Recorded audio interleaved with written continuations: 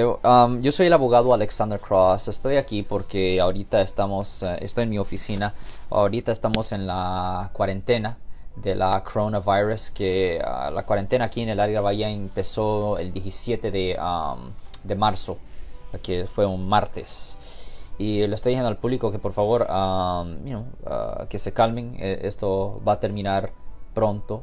Uh, eventualmente cuando los negocios grandes empiecen a, sentir el, golpe, van a realizar que no pueden uh, dejar a la gente sin, sin trabajo por mucho tiempo.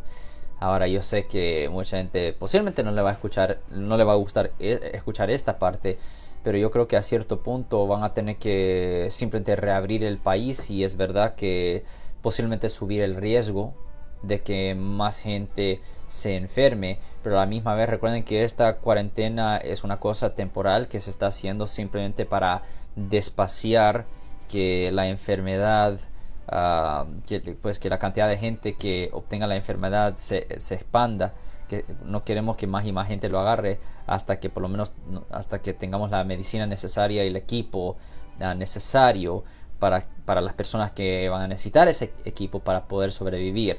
Otra cosa también, aunque van a estar en casa muchos y va a haber mucha frustración, so por favor recuerden, violencia doméstica, eviten peleas, argumentos con su pareja, porque tiene que entender que aquí en el estado de California simplemente tocando a su pareja durante un curso de un argumento es un delito menor que conlleva una pena potencial de hasta un año en la cárcel. Si va a tener un argumento con su pareja, es mejor irse a otro cuarto o bueno, normalmente le digo a las personas que se vayan de la casa, pero en esta circunstancia no es buena idea irse.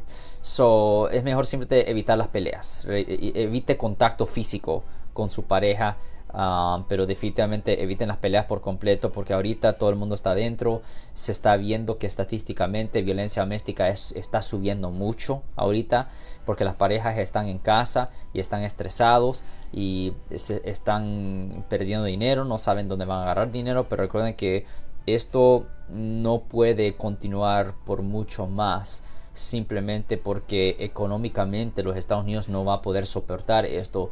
Y a cierto punto no, no, voy a decir que van a ignorar la enfermedad pero van a tener que decirle a todo el mundo que tengan ah, guantes y uh, máscaras puestas ah, a todo tiempo cuando estén saliendo porque la gente va a tener que continuar a trabajar.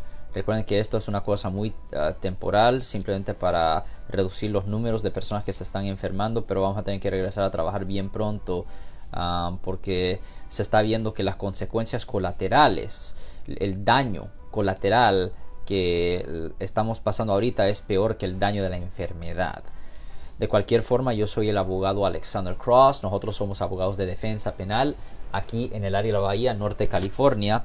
Y si alguien en su familia o si un amigo suyo o si usted ha sido arrestado por haber cometido un delito y necesita representación en corte, pues llame ahora para hacer una cita gratis.